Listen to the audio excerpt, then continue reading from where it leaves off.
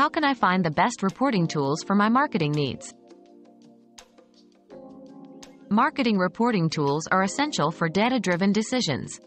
For marketers and agencies, choosing the right one can be a game changer. Google Data Studio offers custom reports and integrations. Tableau excels in data visualization, while HubSpot provides detailed marketing analytics. For a comprehensive dashboard experience, Databox is a top pick.